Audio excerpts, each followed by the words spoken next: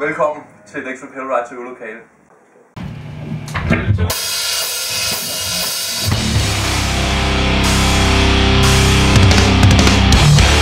My pollution from a blind trust in you so true Foråret 2013. Vinderne af de sidste tre metal battles i Danmark sig sammen under en fane og indtager Danmark. Bakken Open Air Metal Battles Danmarks turné 2013 Kom. tager til Jylland og Sjælland. Så til Fyn. Fordi Alexi Hellride spiller sammen med Nå, by the patience! Det er dem, der skal mig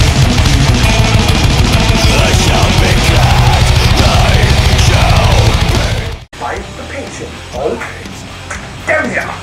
Godt. Affection! Det er dem, uden skal.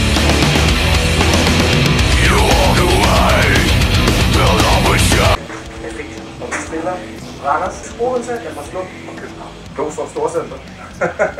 Esbjerg, Herning, Aalborg, Kolding. Kom og se os for helvede! Til en fed omgang med, Esbjerg. Og vi håber at se jer alle sammen.